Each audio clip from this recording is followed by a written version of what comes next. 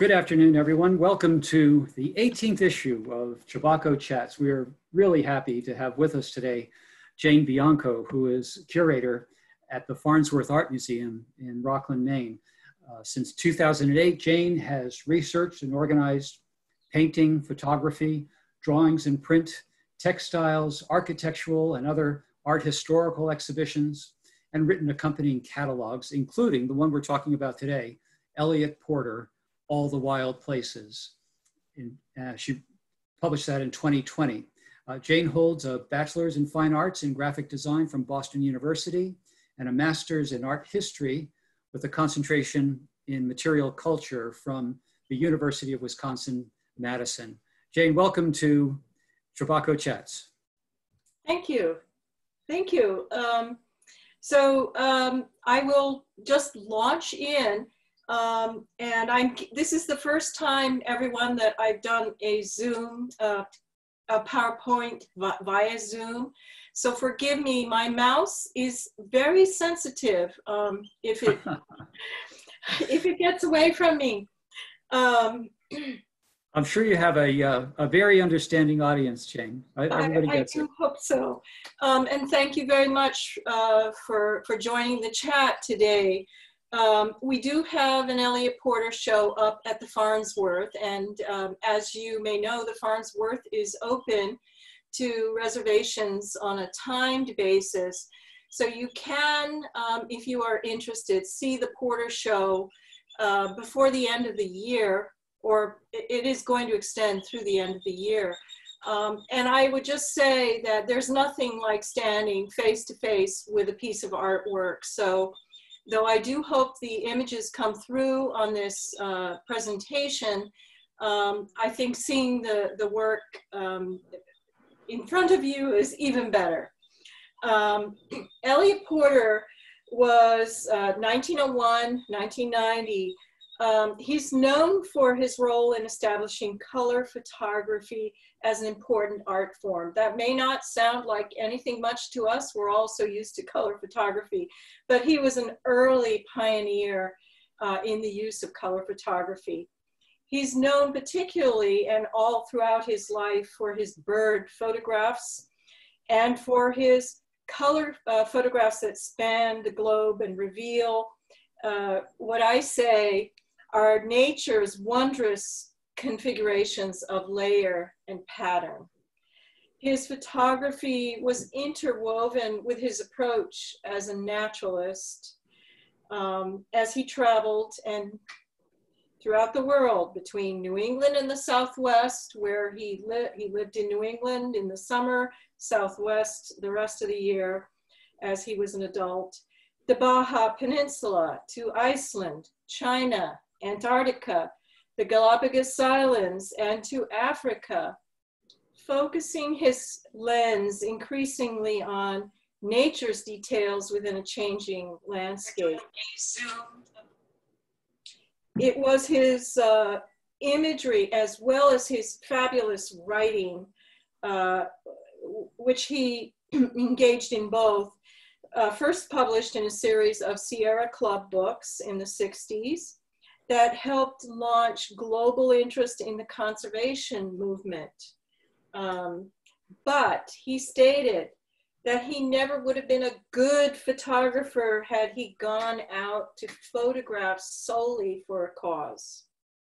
Rather, I believe his images are reflections of his curiosity and his pure delight in the beauty of the places where he found himself.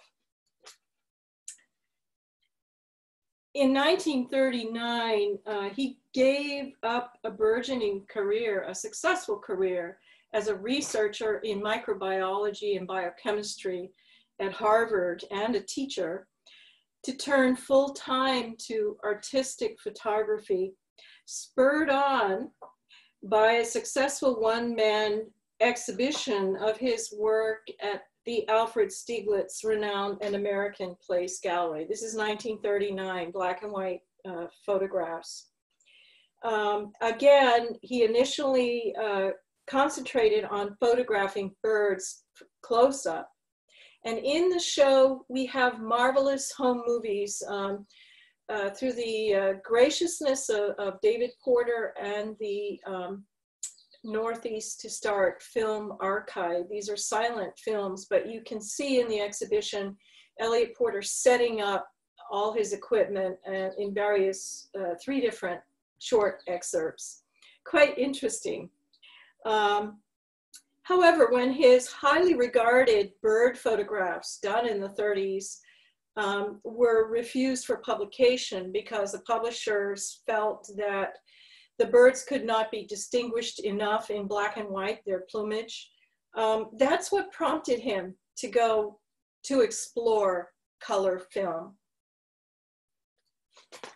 Uh, and I thought I'd start with a lovely color photograph of a place you may know, being um, in the audience, I'm assuming there are a number of you from MDI, and you may recognize this as, as Bass Harbor, an estuary in Bass Harbor, um, formerly known as McKinley, if I have that right. And uh, Eliot Porter's title is Tidal Marsh McKinley, done in 1965. And because I don't know MDI as well as you do, I needed to know where this was. Um, I found an old postcard here, easily online. And um, because of the outline of the mountains in the background, uh, which Tim has, has given me the names of them and I promptly forgot them, um, you can see the, the parallel between uh, Porter's 1965 photograph and this postcard, which may have been done in the 30s, I'm, I'm guessing.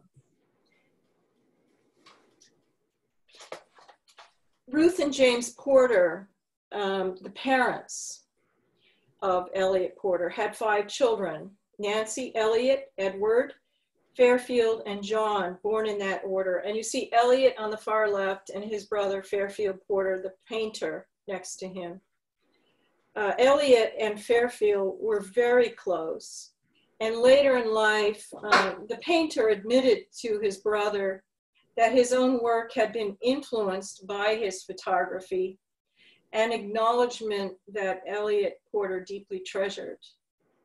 As they were growing up, the five Porter children enjoyed private tutors, fine schools, reading concerts, museums, and extensive travels from their home near Chicago. The family eventually purchased Great Spruce Head Island in Penobscot Bay, just off the coast of the familiar area to all of us of Maine. Whoops, that's the mouse being sensitive. Okay. Um, so then I thought it would be uh, interesting to see the distance between Bass Harbor and Great Spruce Head Island. Great, Great Spruce Head Island um, on the left in the little square, uh, as you can see, it's not too far from uh, North Haven, and Islesboro. Um, and all the porters were avid boaters. In fact, Stephen Porter, this well-known sculptor, uh, Eliot Porter's son, has built boats. And I suspect um, that Eliot Porter boated out to, and here I'll use the cursor if it shows up, I'm not sure, uh, I believe he boated from Great Spruce Head Island around uh, Deer Isle and Stonington, which he was an area which he was very familiar with, shot a lot of photographs there, and made his way up to MDI through Bass Harbor um, by boat, I suspect. Uh, these photographs are taken by me out on Great Spruce Head Island last autumn uh, when I was honored to be able to pay a visit there. The inside of the great house is a setting that some of you may be familiar with through Fairfield Porter's paintings. And as I gazed out the window from the dining room at some point, this fabulous four-masted, is it? Schooner sailed by Um, it's a very magical place. I can understand why the family uh, went year after year to uh, Great Spruce Head Island and how it influenced uh, the brothers. And that includes John Porter as well, whose films you can see in the uh, exhibition. Reached only by boat and crisscrossed by footpaths made by their father, the island, this magical place, was uh, a place of woodlands, fields, rocky shorelands, and homes for birds. Features that had a profound effect on all the Porter children and on the artistic uh, visions in particular of both Eliot and Fairfield Porter. So you see, of course, Eliot Porter photograph on the left, excuse me, and uh, Fairfield Porter painting on the right, both in the Farnsworth collection. And both showing the shoreline. And there's a close-up of our picture that it's kind of the title piece for the catalog and the show. And what Eliot Porter said about the island was that our lives there, my brothers and sisters and mine, were from the very first determined by the sea. High tide was the time to swim, and low tide the time to explore the shore. And their father was an avid naturalist himself and instilled in all of his children a great uh, appreciation and curiosity about the natural world. So here is uh, Eliot Porter as a young man setting up his tripod in order to photograph birds in their natural settings, usually nesting birds on Great Spruce Head Island. Whoops. Whoa. okay. I don't know how to get this to go back. Oh, I, I think maybe, uh, Jane, I think maybe you press the play button so that it's running automatically. And if you, uh, um, you know, I got this really sensitive, this, okay there he is in, um, in the Southwest. He had a home as an adult uh, where he raised his own family in Tesuque, outside of San, uh, San, Santa Fe. The best of two worlds, right? Maine and New Mexico. So here I'm showing um, how beautiful his black and white photographs were of birds. And here his color photography as it emerged with bird photography.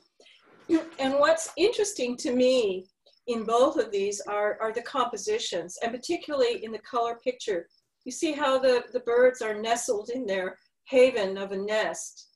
Uh, between the pattern that the, the fur um, makes all around them. It, it's, it couldn't be a better painting. This is the um, shed, now a little cottage on the island, um, also my photograph, where Eliot Porter produced his print, uh, printed dye transfer uh, color prints. And I can read to you um, something I don't understand very well because I haven't done it myself or not, or perhaps we can leave it to the question and answer period about the masks and the dye transfer process. But this is where he he worked. And Stephen Porter, again, his son, the sculptor, also um, observed his father doing the dye transfer process. And he thought it was quite amazing as the colors emerged. The Amon Carter Museum in Fort Worth, Texas houses uh, the bulk of Eliot Porter's work and his archives, masses of, of uh, photographs and materials. Um, 25,000 transparencies and over 7,000 dry dye transfer prints are housed at the Amon Carter Museum. It's a, a wonderful resource uh, for researchers and those who just appreciate his photographs. And you can go online, find out a lot about Eliot Porter at the Amon Carter Museum archives this is a, a I'm going to try not to talk too much because I think the, the photographs speak for themselves. This was a gift from Stephen Porter and his wife Marcia to the Farnsworth, Great Spruce Head Island, looking down. Though um, in the scenes of woodlands on his main island, Eliot Porter's photographs imply permanence. These places uh, have been altered over time. And on the island, um, he, he noticed a diminishing bird population. And as well, the stands of trees have been windswept and fallen and, and changed over the years. This very, very famous photograph, of which the Farnsworth has a print, was uh, taken by Eliot Porter on a four, at a four by five inch format. And it was blown up by Ansel Adams to a five foot high print. Uh, this is the uh, front and center uh, beginning of our show at the Farnsworth. In 1972, Eliot Porter was preparing for a retrospective exhibition of his work at the University of New Mexico in uh, Art Museum in Albuquerque. And he asked Ansel Adams, whom he knew, um, if he would enlarge his print to monumental scale. A feeling that perhaps Ansel Adams was the only photographer in America with the technical ability to do this sort of thing. Um, Adams had been making large scale prints and photo murals uh, in the late 1930s um, during the WPA era for various projects relating to his work for the Department of the Interior. So he was well equipped to do this. And he did make five monumental scale black and white prints from the, from the Eliot Porter negative.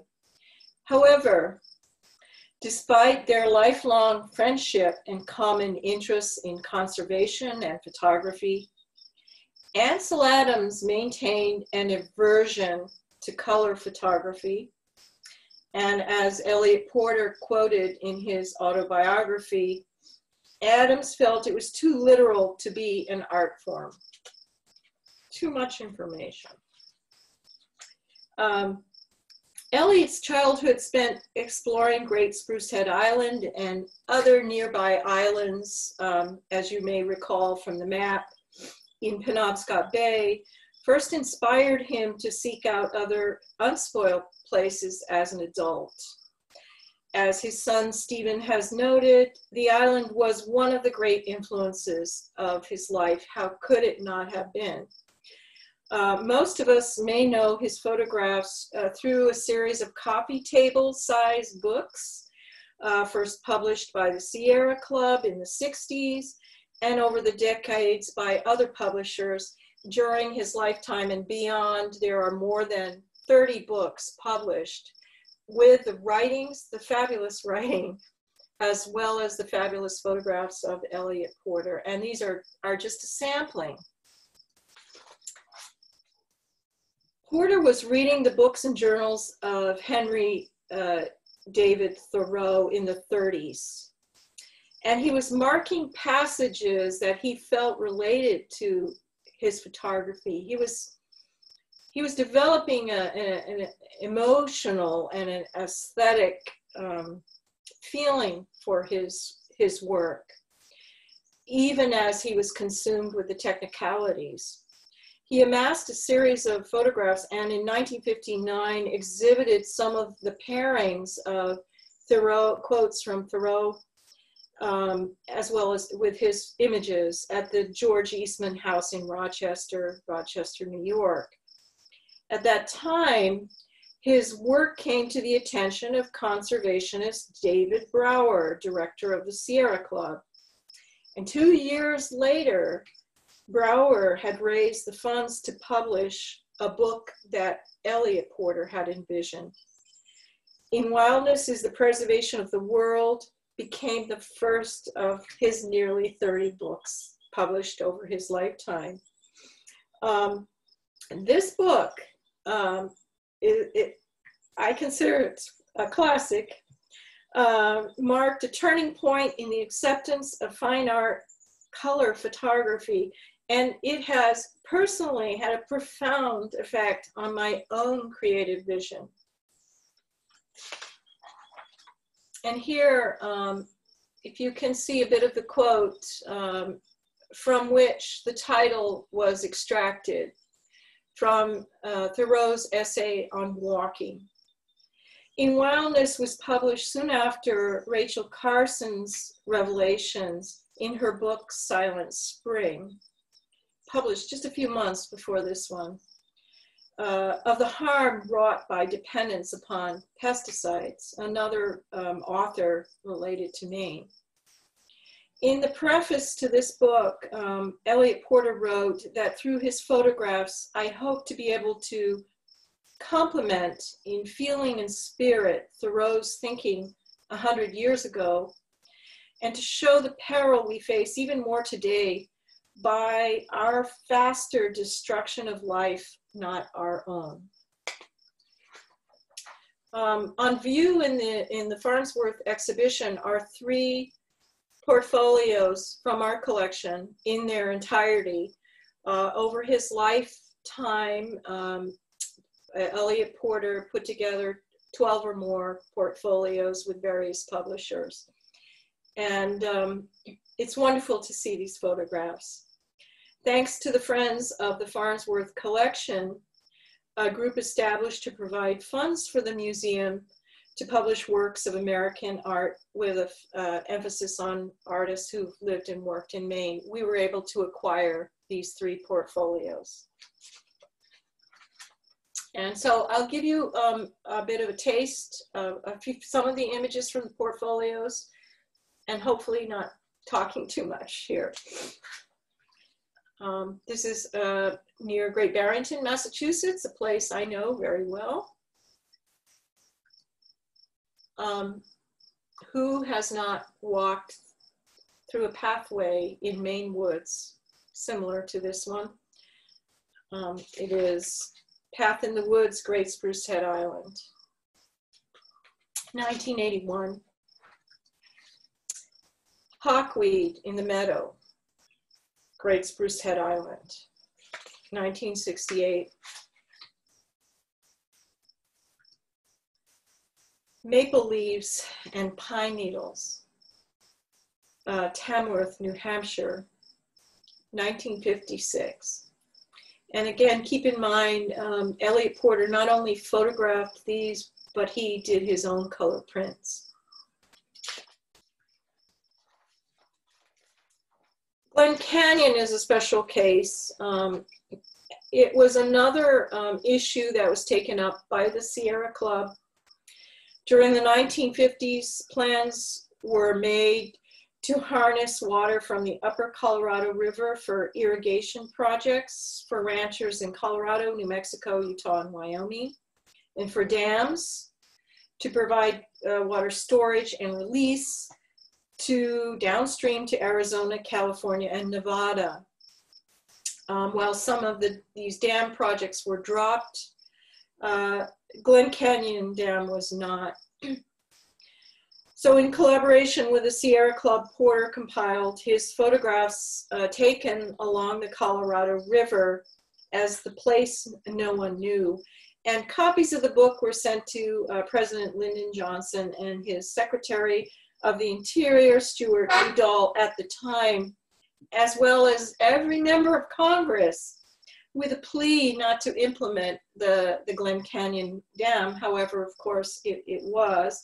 And the damming uh, created uh, Lake Powell, which began filling in 1963 and completed in 1980. Um, at capacity storage, the lake has uh, 26 million acre feet of water. This is Escalante River Outwash, Glen Canyon, 1962. And I think you, as you see these photographs, you, you begin to see the abstract nature of his compositions. Um, I think this is worth reading. um, because it it speaks to um, his feeling for um, as a scientist, as a naturalist, and as an artist. Porter eventually made 11 raft trips on the Colorado River and um, conveyed uh, his first reactions to the beauty of the area in this, in this quote. I hope I've given you enough time to read it. Some of these pictures actually, well, they make me gasp because of the vivid color and, and the the the color, the forms and the color, just because of the color and the forms, the juxtaposition, the arrangement of forms. And it's all natural. Uh, this is the San Juan, along the San Juan River in Utah in 1962. Uh, reflections in a pool, Indian Creek, Escalante River, Utah. He worked with a two and a quarter inch camera, uh, while rafting, uh, which is his means of transport along the Colorado, and a four by five inch camera on land. He portrayed the canyon's rock faces, water, and plants in over a thousand images captured during 11 trips to the area. He visited twice in 62, 63, 64, 65, 68, and then in 1971, altogether 11 trips. And in two rafting trips in, in 1961, uh, painter Georgia O'Keeffe accompanied him. She sketched while he photographed. And he wrote, I remember how she liked looking out, looking up out of slot canyons and caves at holes in the sky. So she was seeing the abstract nature along the way as well. And this is the edge, uh, the river's edge uh, along the uh, Glen Canyon Courseway. Water slide taken from above. It's hard to gauge the scale of this. His, I do believe his photographs um, exceeded their documentary value um, in revealing the canyon's forms and surfaces of abstract patterns and of water, rock, and light intermixed. Certain passages um, was published in 1989, the portfolio of, of images. Um, and I do believe it's a kind of, towards the end of his life, it's a kind of summing up of places he loved as a photographer during his life and something he wrote um, as a as a preface to this book, I feel is very important. His emphasis of love for his subject matter uh, above above the medium of photography. So I think he felt that way about the birds, and I think he felt that way about the greater world. foxtail grass um, along the Colorado River, 1976. Um, 1967, Grand Canyon. And what I notice about these two photographs uh, juxtaposed, um, just forgetting about their subject matter, is again the sort of emphasis on the curves and the edges of things. water streaked wall, um, Lake Powell, after the water had risen, 1965, or as it was rising, excuse me. And then juxtapose from the same portfolio with aspens um, taken in 1959, um, the emphasis on the vertical patterns of tree trunks and of streaks in a canyon. And then um, bracken and hawkweed and his um, image of the apple tree shown at the very beginning of this presentation, um, which I I, I think it's a sort of a visual interplay of patterns and textures, which I find rather fascinating. The subtle pattern on pattern between the apples against the leaves and the ferns against the bracken in the field. And here, um, from the same portfolio, Gray's Arch and birch tree, uh, Gray's Arch, Kentucky, and birch trees in the Adirondacks. Um, the more you, or at first, for me anyway, I, it was very hard for me to distinguish on the left in Gray's Arch which trees were in the foreground and which were in the background. And somehow the background came towards the foreground. Um, the images, some of the images he takes play with that. Um, they're sort of disorienting. Again, I, I mentioned it's hard to tell scale, but sometimes it's hard to tell what's what. And I think that's part of the fascination once you're drawn into his photographs.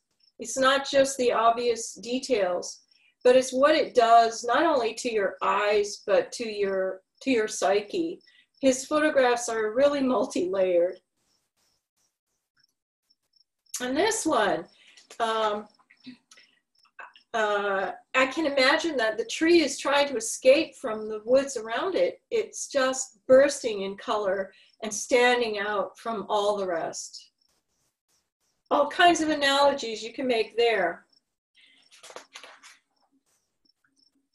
And then um, I do believe that his Glen Canyon photographs, one on the right, for example, um, played a part in inspiring his travels to really far-flung realms, including Antarctica.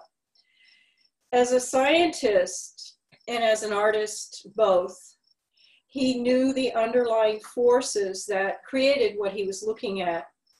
He understood cellular and crystalline networks, surface tensions, chemical, mechanical, and evolutionary changes causing structural and optical nuances. Not only did he observe this, but he, he played with this in his um, aesthetic compositions. His photography emphasized the beauty of the complex. And here, this one, so hard to tell what is the foreground, what is the background. Is that an ocean in between? No, it's a hillside of snow. Those are layers and layers of distance um, that we're looking at, snow covered hills and mountains with the far distant um, smokiness um, on the mountains in the far, far distance.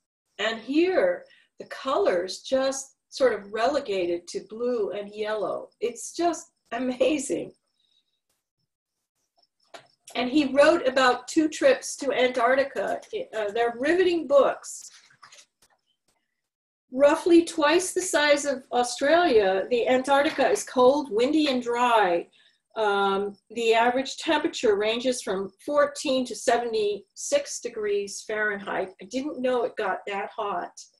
But more recently, 80% um, of the glaciers along the west coast have retreated in the last 50 years, with most of these showing an accelerated retreat or melt in the last dozen years and it was um, between the, the summer time, between December and February, that he took these photographs of Antarctica. This is a photograph taken in February this year. Satellite images, uh, Landsat 8 photos on um, the northern tip of the Antarctica Peninsula that stretches towards South America. Uh, two days after the first photo was taken, the area hit 65 degrees Fahrenheit pretty early in the year. And it, that temperature coincidentally matched the day's temperature in Los Angeles. This is Antarctica. NASA said the warm spell caused widespread melting on nearby glaciers and NASA expanded. Such persistent warmth was not typical until the 21st century in Antarctica, and it has become more common as the years go by. Antar the Antarctic Peninsula at the northwestern tip near South America is one of the fastest warming areas of, of the world. So last fall, when I was visiting uh, Great Spruce Head Island, um, where the family made their home each summer since 1912, the journal Science was also publishing um, concurrently the findings of a 50-year study of bird species, 529 bird species by seven international institutions, concluding that on the American continent, the bird population has diminished by an unprecedented scale. Um, since Eliot Porter was making his bird photographs. But even in his lifetime, until he died, uh, from, from 1901 until 1990, he was noticing the diminishing uh, bird, singing bird population just on Great Spruce Head Island. So here he is, a young man with his uh, large format camera. And just to sum up, he was a doctor, he was a researcher. He started out as a scientist. His father instilled in him an appreciation for the natural world. And in that sense, he was a, a natural naturalist. Um, the aesthetic factors um, entered into his photography once he went into color and um, in both cases, I believe his bird photographs and his landscape photographs uh, were because of his love of the world around him. And that these uh, things in this world inspired his own photographic uh, images, his own photographic documents of discovery. Thank you. Jane, that was magnificent. I uh, am uh, just in awe of the images you you showed us and the his create his creative drive and his expertise. It's just fascinating. We um, we've fielded lots of questions. I want to welcome our viewers from the world of the Farnsworth Art Museum. I think there's many people perhaps who are connect more strongly connected with the Farnsworth rather than the Mount Desert Island Historical Society, but we're very glad you're here. And um, we don't have time for all the questions, but uh, there's one that one or two that really uh, strike me. And one is, um, what was the most rewarding part of working on the Porter show? Um, I would say it was getting to know members of the Porter family and realizing um, the, the sort of the legacy within that family um, and the rever- uh, that had been passed down from now it would be their their grandfather um, to a generation now in their 70s um, and then their children um, and their children um, of reverence for Great Spruce Head Island and uh, for this part of Maine. Um, that's really what had the most impact uh, on me most recently. Further into the past, uh, when I was um, when I spoke about in wildness is the preservation of the world changing my or having an impact on me, um, it was because after seeing that book as a teenager, I, on my own rambles to the woods, I started to see, if this doesn't sound too presumptuous, I started to see the world through Eliot Porter's eyes, and that has never left me. One of the things I do on walks is look down, partly so I don't trip, but also because the patterns of what lies beneath us are so fascinating. Those microcosms are, to me, some of the most uh, beautiful scenes that I'll ever see. And I think it was because Eliot Porter recognized those himself. It was the details of nature that he brought to the fore um, in his mainly through his books because they were popularized and people like me um, could just look at them growing up yeah well um, unfortunately, we're out of time. We'd field more questions, but let's finish, Jane, with uh, telling our viewers where they can learn more. Oh, you must seek out his books. Um, just Google Eliot Porter. Um, his writing is magnificent, his photographs even better. But come to the Farnsworth. Um, you can come on uh, reserved and time tickets um, to see the show throughout the end of the year. Um, as I said in the beginning, there's nothing like standing in front of an Eliot Porter photograph. And these are all large format, 16 by 20 uh, for the most part. And then the Ansel Adams, the five foot high, um, black and white, you feel as though you're standing in the trees. Well, thank you, Jane. This was just a wonderful presentation. I'm so glad that uh, we were connected so that we could present this to a new audience. And I want to invite everyone back for another issue of Chebacco Chats next Thursday at 4.30. The executive director of the Mount Desert Island Historical Society, Raney Bench, will interv interview Carolyn Repkevian, the executive director of the Bar Harbor Historical Society, and they'll they'll talk uh, uh, leader to leader about uh, some of the wondrous uh, objects and fav uh, Carolyn's favorites at the Bar Harbor Historical Society. So I hope you can join us again either on this uh, Zoom connection. The link is the same every every week, or you can um, connect through with us through Facebook Live. Once again, thank you all for joining us and especially to you, Jane. It was a real pleasure to work with you this week and to see this presentation. Thanks. Well, thank you for the opportunity. Bye-bye.